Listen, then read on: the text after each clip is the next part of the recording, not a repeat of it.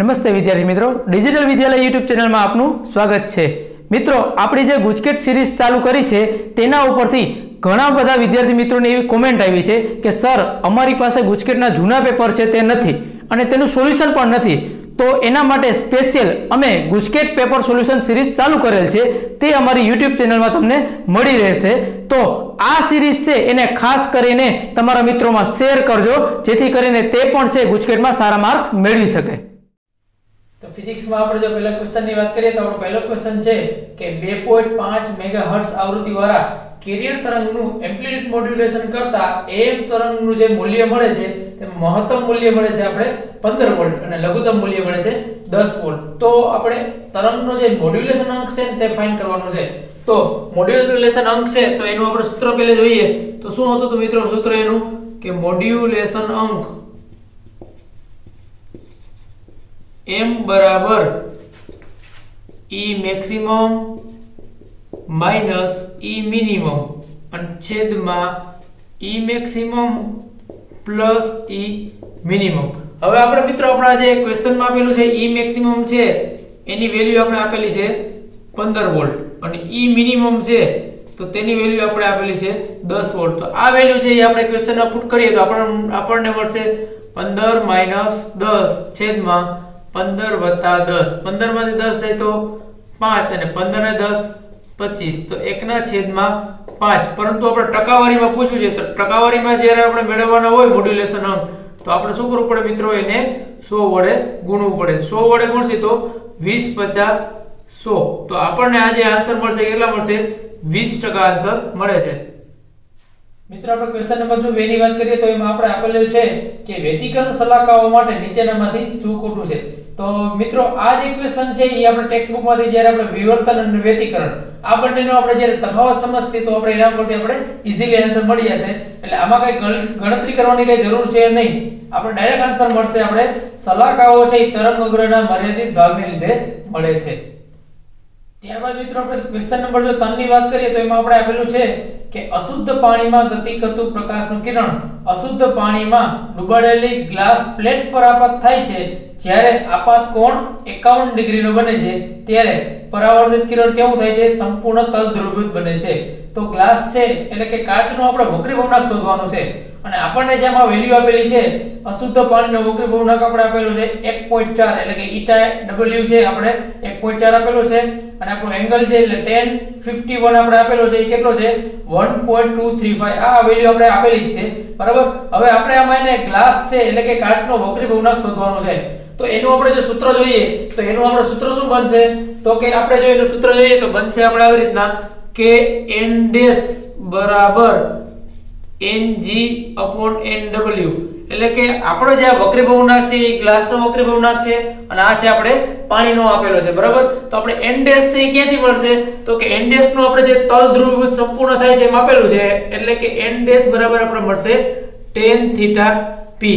જ્યાં થીટા પણ આપે આપેલો છે, tan 51 આપેલો છે, અને એની જે વેલ્યુ આપણે આપેલી છે 1.23 અને 5 તો મિત્રો, આપણે જે આ વેલ્યુ આપેલી છે, તો એના ઉપરથી આપણે ng ને જો આપણે સબ્જેક્ટ બનાવીએ તો આના ઉપરથી આપણે ng equal to n dash into n w મળશે. તો n ડેશ છે એ આપણે કેટલો આપેલો છે? 1.235 અને nw છે એટલે આપણે આપેલો છે 1.4 તો મિત્રો, આનો જે આન્સર છે, તમે મલ્ટીપ્લાય કરશો એટલે તમને મળશે 1.73 મળશે. એટલે કે ગ્લાસ છે, એટલે કાચનો વક્રી ભવનાક આપણે 1.73 છે એ મળશે.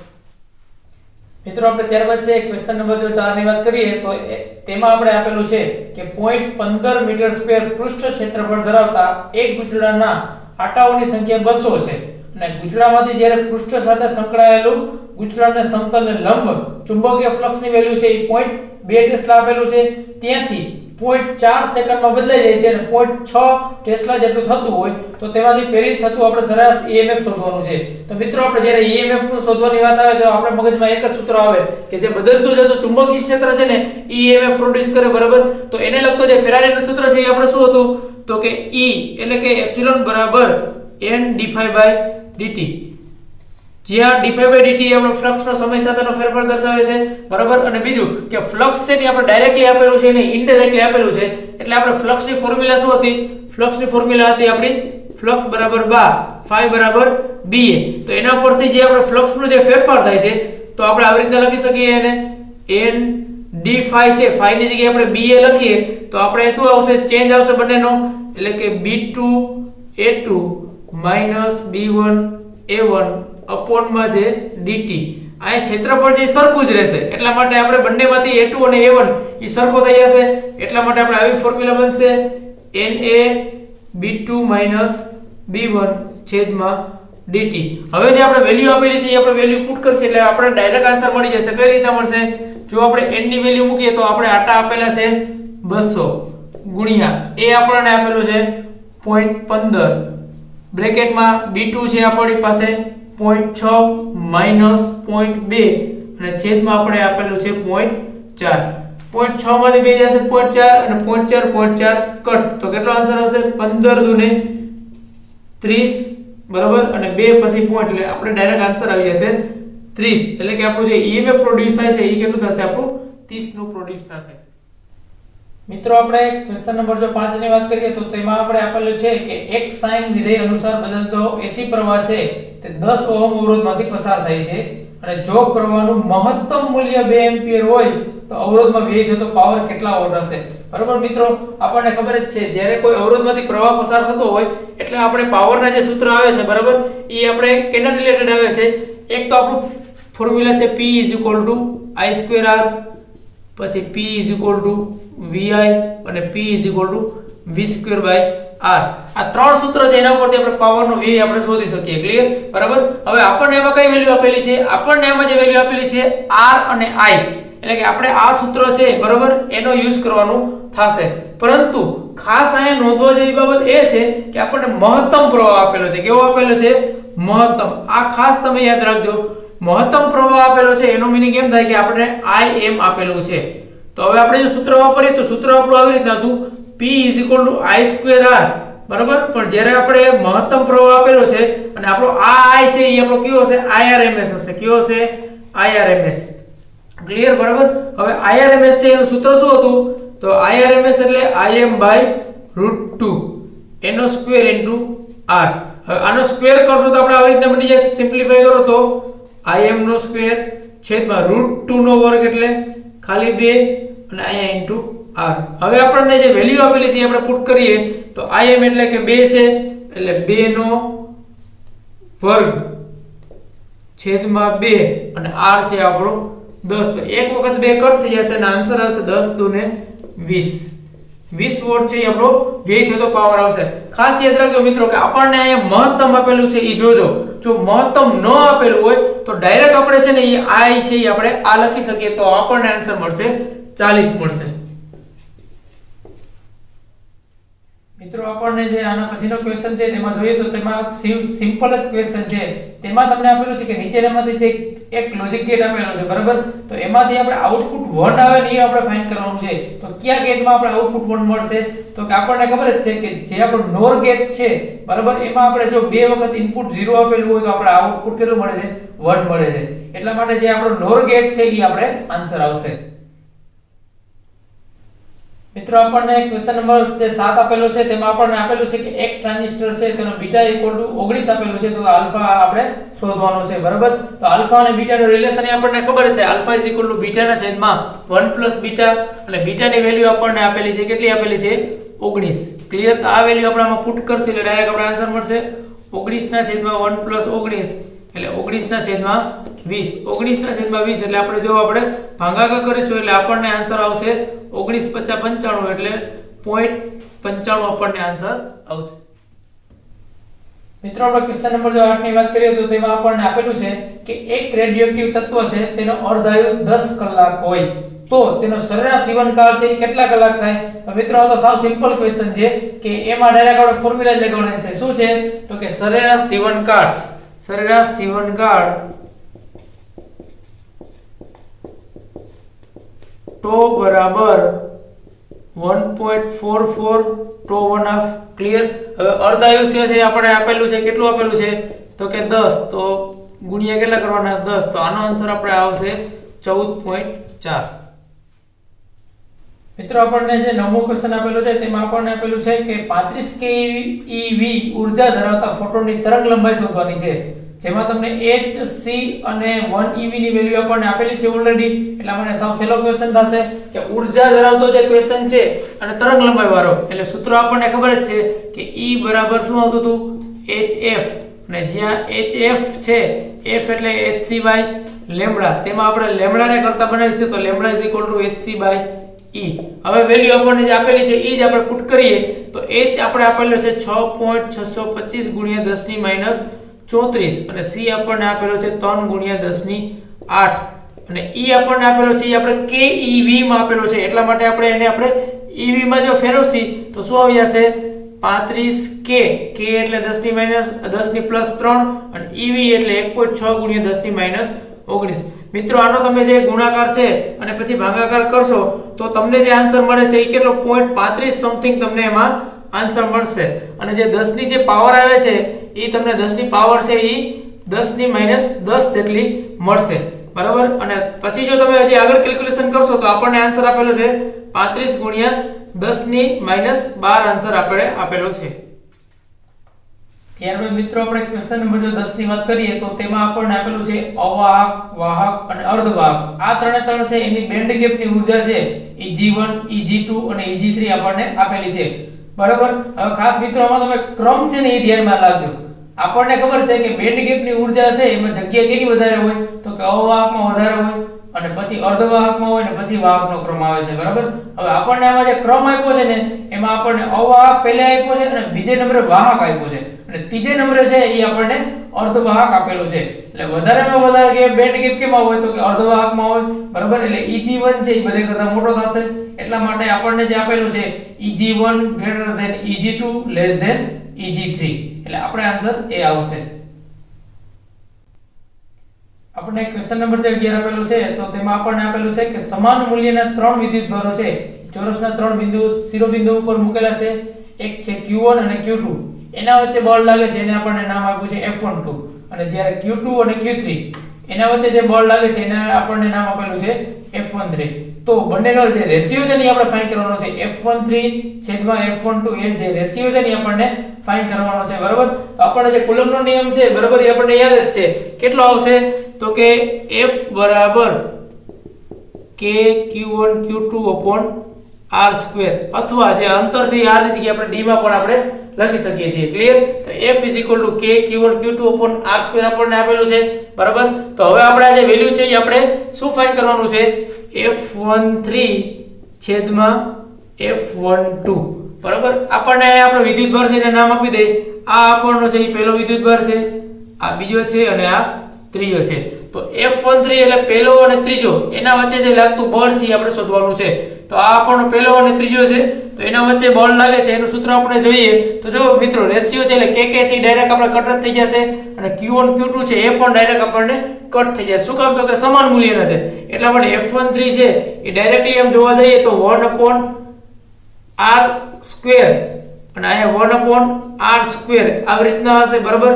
આ અંતર છે r13 અને આ આપણું અંતર છે r12 એટલે છેદનો છેદ ક્યાં જશે? અંશમાં. તો આપણને આવી રીતના મળી જશે r12 નો સ્ક્વેર છેદમાં r13 નો સ્ક્વેર હવે આપણને અંતરની વેલ્યુ મૂકીએ. r12 એટલે એક અને બે વચ્ચેનું અંતર. એક અને બે વચ્ચેનું અંતર કેટલું છે? એ સ્ક્વેર ક્લિયર એટલે આ આપણને મળી જશે એ સ્ક્વેર અને r13 એટલે વન અને થ્રી વચ્ચેનું અંતર. એનું અંતર કેટલું છે આપણે? પાયથાગોરસ જો નિયમ આપણે લગાડશી તો આપણને ડાયરેક્ટ આપણે અંતર મળી જશે. બરાબર? તો આ ડાયરેક્ટ અંતર કેટલું મળશે આપણે? આપણે √2 નો સ્ક્વેર એટલે કે √2 a નો સ્ક્વેર ક્લિયર હજી આપણને જો આગળ સિમ્પ્લિફાય કરશી તો a સ્ક્વેર છેદમાં √2 નો વર્ગ 2 અને નીચે આવશે આપણે અહીંયા a સ્ક્વેર આ બે કટ એટલે આપણે રેશિયો જે છે એનો આન્સર આવશે 1/2 મિત્રો, આપણે ક્વેશ્ચન નંબર જો 12 ની વાત કરીએ તો તેમાં આપણને આપેલું છે કે કોઈ બંધ પૃષ્ઠ વડે ઘેરાતો વિદ્યુતભાર છે. આપણને 10 કુલમ છે, તો ત્યારે પૃષ્ઠ સાથે સંકળાયેલું ફ્લક્સ કેટલું છે? 5 છે. અને તે જ પૃષ્ઠની અંદર બીજો એક વિદ્યુતભાર દાખલ કરવામાં આવે છે. તેની વેલ્યુ પણ કેટલી છે? 10 માઇક્રોકુલમ છે. તો હવે આ પૃષ્ઠ સાથે સંકળાયેલું ફ્લક્સ છે એ આપણે કેટલું મળે છે? બરાબર? તો આપણે ફ્લક્સનું સૂત્ર ખબર જ છે. ફ્લક્સનું સૂત્ર શું છે? Phi બરાબર summation q by epsilon naught. Summation q એટલે શું થશે? કે ઘેરાતો વિદ્યુતભાર આપણને ઘેરાતો વિદ્યુતભાર આપણને આપેલો છે. કેટલો છે? 10 માઇક્રોકુલમ એટલે આપણે જે પહેલું ફ્લક્સ છે એ 5 બરાબર 10 માઇક્રોકુલમ છેદમાં એપ્સિલોન નોટ આટલું આવશે. હવે એક્સ્ટ્રા જે વધારાનો 10 ઉમેરે છે, તો પેલે મૂળ કેટલો હતો આપણને? 10 અને વધારાનો કેટલો એડ થાય છે? 10 તો ટોટલ છે વિદ્યુતભાર આપણો કેટલો થઈ ગયો? 20 માઇક્રોકુલમ થઈ ગયો. તો હવે તેની સાથે સંકળાયેલું ફ્લક્સ છે, આપણે એને 5 ડેશ કહીએ, તો 5 ડેશ બરાબર સમેશન q ના છેદમાં એપ્સિલોન નોટ. સમેશન q કેટલો થઈ ગયો આપણો? 20 તો 20 માઇક્રોકુલમ છેદમાં એપ્સિલોન નોટ. ક્લિયર હવે 20 છે, તો આપણે એને આવી રીતે લખી શકીએ. 2 ગુણ્યા 10 માઇક્રોકુલમ છેદમાં એપ્સિલોન નોટ. આ જે છે એ આપણો કોણ છે? તો આ તો આપણો phi છે. તો એની વેલ્યુ શું થશે? 2 phi થઈ જશે. એટલે આપણને જે ઘેરાતો વિદ્યુતભાર જો વધારવામાં આવે છે 10 એડ કરવામાં આવે તો તો નવું મળતું આપણું જે ફ્લક્સ છે એ કેટલું થઈ જશે ડબલ એટલે કે 5 ડેશ બરાબર 2 phi જેટલું આપણું ફ્લક્સ છે એ થઈ જશે.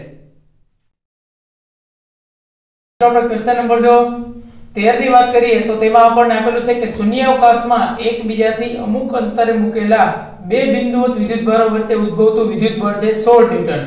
જો આ જ બે વિદ્યુતભારો છે એ આટલા જ અંતરે મૂકવામાં આવે, પરંતુ તેની વચ્ચે 8 જેટલો ડાયઇલેક્ટ્રિક અચળાંક ધરાવતા માધ્યમમાં મૂકવામાં આવે, તો તેની વચ્ચે લાગતું બળ, મિત્રો, આ સાવ સહેલો ક્વેશ્ચન કહેવાય. શું કામ? તો કે જે આપણે કુલમ બળનું સૂત્ર છે, તેમાં આપણને ખબર જ છે કે જે બે બિંદુઓ વચ્ચે લાગતું વિદ્યુત બળ છે એ કુલમ બળ છે એ કેટલું હોય? તો કે જ્યારે એની વચ્ચે ડાયઇલેક્ટ્રિક અચળાંક મૂકવામાં આવે, તો એટલા ભાગનું થઈ જાય છે. ક્લિયર તો આપણે Fm બરાબર F4 ના છેદમાં K. જે વિદ્યુત બળ આપણને આપેલું છે કેટલું છે? Fo બરાબર 16 ન્યૂટન. અને ડાઇલેક્ટ્રિક અચળાંક આપણને આપેલો છે K બરાબર 8 તો ડાયરેક્ટ આપણે જો વેલ્યુ પુટ કરશે તો આપણને મળશે 16 ના છેદમાં 8 એટલે કે જે લાગતું બળ છે કેટલું થઈ જશે? Fm 2 જેટલું થઈ જશે. મિત્રો, આપણે હજી જો આગળ વધીએ અને ક્વેશ્ચન નંબર જો આપણો 14 છે, જો તેની વાત કરીએ તો તેનો જે આપણે આપેલો છે તે પણ સિમ્પલ જ છે સાવ ક્વેશ્ચન એમાં ડાયરેક્ટ આપણને અણુની ધ્રુવીયતા શોધવાની છે. અણુની ધ્રુવીયતા છે એ સાવ સિમ્પલ જ છે. ડાયરેક્ટ આપણે પારિમાણિક સૂત્ર મૂકવાનું છે. તો શું થશે એનું સૂત્ર? તો કે એનું સૂત્ર સાથે કુલમ્બનો સ્ક્વેર મીટરની પાવર 1 અને ન્યૂટનની માઇનસ 1 એટલે કે આપણને coulomb square metre per newton છે, એ પણ આપણે તેને કહી શકીએ, બરાબર? હવે આપણને જો જે આગળ વાત કરીએ, તો આપણનો એના પછીનો જે ક્વેશ્ચન છે, એ આપણનો છે કે વિદ્યુત ડાયપોલની અક્ષ પરના અને વિષુવરેખા પરના કોઈ બિંદુ પાસે પછી આપણને ખાલી જગ્યા આપેલું છે. બરાબર? તો વિદ્યુત ડાયપોલ હોય તો એની જે અક્ષ પરનું બિંદુ છે, તો અહીંયા ક્યારે આપણને જે 20 v છે એટલે કે વિદ્યુત સ્થિતિમાન આપણને 0 મળે નહીં. એટલા માટે અને વિષુવરેખા છે, ઈ પણ આપણને શું મળશે? 0 બરાબર? તો એટલા માટે આપણે આન્સર છે એ આવશે અક્ષ પર છે v does not equal to 0 અને વિષુવરેખા છે, એના ઉપરનો આપણે 0 આન્સર મળશે. એટલે અક્ષ પર v does not equal to 0 અને વિષુવરેખા પર v equal to 0 question number જો આપણે 16 ની વાત કરીએ, તો તેમાં આપણને આપેલું છે કે એક વાહક તાર છે, તેનું તાપમાન વધારવામાં આવે, તો વાહકતા અને અવરોધકતાનો ગુણોત્તર છે, એ આપણને શું મળે? મિત્રો, આપણને ખબર છે કે જેવું જો તાપમાન વધારવામાં આવે, એટલે વાહકતા ઘટે અને અવરોધકતા છે, એ શું થશે? વધશે. એટલે આપણે ડાયરેક્ટ ખબર પડી જશે કે એનો આન્સર છે, એ શું આવી જશે? તો કે બંનેનો ગુણોત્તર છે, એ આપણે ઘટશે. મિત્રો, આપણે ક્વેશ્ચન નંબર જો 17 ની વાત કરીએ તો આપણને આપેલો છે કે તમને 10 અવરોધો આપેલા છે. દરેકનો અવરોધ 2 ઓહમ છે અને તેમનો શક્ય લઘુત્તમ અવરોધ મેળવવા માટે તેને જોડવામાં આવે છે. ત્યારબાદ તેમને શક્ય મહત્તમ અવરોધ મેળવવા માટે જોડવામાં આવે છે. તો આ રીતે મેળવેલો મહત્તમ અને લઘુત્તમ અવરોધો છે, તો તેનો આપણને ગુણોત્તર છે તે આપણે ફાઇન્ડ કરવાનો છે, બરાબર? તો આપણે પહેલા જોઈએ કે લઘુ અવરોધ છે, બરાબર? એ આપણે સમાંતરમાં જોડીએ. તો સમાંતરમાં જોડશે તો એનું આપણે જે અસરકારક અવરોધ છે આપણે આવી રીતે મળશે r ડેશ બરાબર r ના છેદમાં n હવે r આપણને આપેલો છે કેટલો છે? 10 અને n કેટલા આપેલા છે આપણે? 2 બરાબર? તો 10 ના છેદમાં 2 એટલે એનો આન્સર કેટલો આવશે? 5 આવી જશે. ક્લિયર હવે મહત્તમ અવરોધ મેળવવા માટે આપણે એને શ્રેણીમાં જોડીએ. તો શ્રેણીમાં જોડીએ તો એનું સૂત્ર અસરકારકનું સૂત્ર શું છે? r ડબલ ડેશ બરાબર nr n આપણે આપેલો છે 2 અને r આપણને આપેલો છે 10 તો એનો અસરકારક અવરોધ કેટલો મળશે આપણે? વીસ મળશે. હવે આપણે આમાં મિત્રો મહત્તમ અવરોધ શોધવાનો છે. તો મહત્તમ અવરોધનું સૂત્ર થશે આર ડેશ ગુણ્યા આર ડબલ ડેશ. એટલે કે શ્રેણીનો આન્સર જે અસરકારક આવ્યો છે એ અને સમાંતરી બંનેનો ગુણાકાર. તો આનો આન્સર આપણને આવશે પાંચ ગુણ્યા વીસ. એટલે કે સો છે એ આપણને મહત્તમ અવરોધ મળી શકે.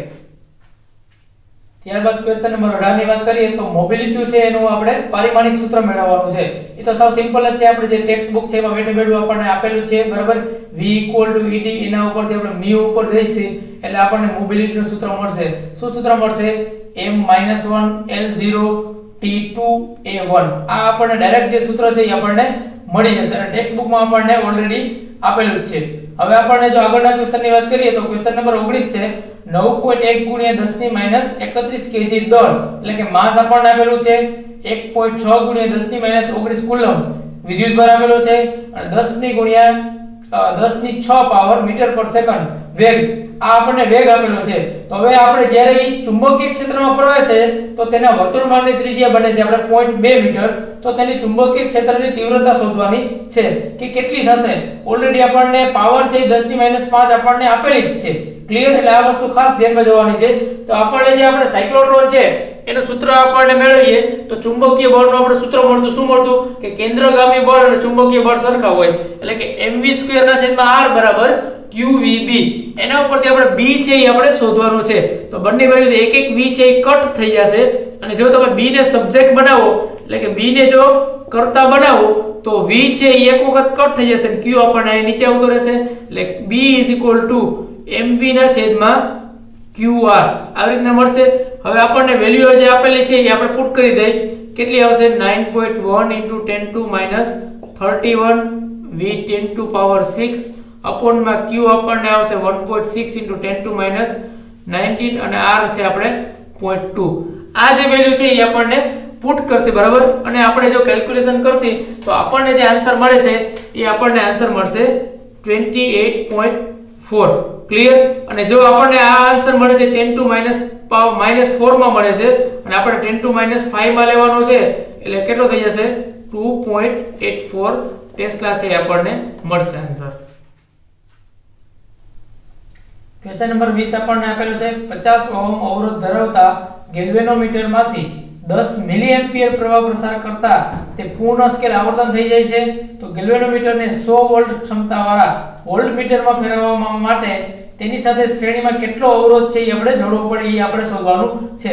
મિત્રો, આપણે ખબર છે કે જે આપણો ચેપ્ટર નંબર 4 છે, તેમાં જે શ્રેણી અવરોધ છે, જે છેલ્લો ભાગ છે, તેનું આપણે સૂત્ર છે. શું છે સૂત્ર ભાઈ? તો કે શ્રેણી અવરોધ RS V ના છેદમાં Ig G ક્લિયર તો આપણને વેલ્યુ આપણે પુટ કરીએ તો V કેટલી આપેલી છે આપણે? V છે આપણી પાસે 100 વોલ્ટ એટલે 100 Ig છે, એ આપણને 10 મિલી એમ્પિયર આપેલું છે. તો મિલી છે આપણે એને આપણે કન્વર્ટ કરીએ તો 10 ગુણ્યા 10 ની માઇનસ 3 એમ્પિયર અને 1 મિનિટમાંથી કટ થઈ જશે એટલે 10 ની માઇનસ 2 એમ્પિયર આપણને મળી જશે. તો વેલ્યુ આપણે પુટ કરીએ તો 10 ની માઇનસ 2 માઇનસ ગેલ્વેનોમીટરનો અવરોધ આપણને આપેલો છે 50 એટલે આપણે મૂકશે 50 10 ની બે 2 ઉપર જશે તો 10 ની પ્લસ બે થઈ જશે. એટલે 100 ની પાછળ હજી વધારાના બે ઝીરો આપણને મળશે. હવે 10000 છે, તો એમાંથી 50 આપણે જ્યારે વાત કરીશું, તો આપણને આન્સર મળશે 9950 એટલે કે શ્રેણીમાં જે આપણે અવરોધ જોડવામાં આવે છે, તેની વેલ્યુ હશે 9950 તો વિદ્યાર્થી મિત્રો, આ આપણને જે 1 થી 20 ક્વેશ્ચન છે એમસીક્યુ તે આપણને સોલ્વ કરેલા છે. આ આપણો પાર્ટ 1 છે. અને જે આપણો પાર્ટ 2 છે, એમાં આપણને છે એ 21 થી લઈ અને 40 ના એમસીક્યુ આપણને મળી રહેશે. આશા રાખું છું કે મિત્રો આ પાર્ટ છે તમને ગમ્યો હશે. છતાં, હજી કોઈ પણ ડાઉટ હોય, તો નીચે તમે કોમેન્ટ કરી શકો છો. આ રીતના આપણને જે ગુજકેટના જે પેપર છે, એના બધા સોલ્યુશન જે તમને આમાં અમારી YouTube ચેનલમાં મળી રહેશે. જય હિન્દ, જય ભારત.